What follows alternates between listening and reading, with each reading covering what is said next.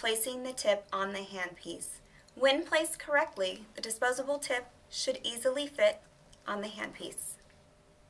If there is an issue with placing the tip on the handpiece, remove the tip from the handpiece completely. Note that the interior of the tip has guides that line up with the grooves in the handpiece.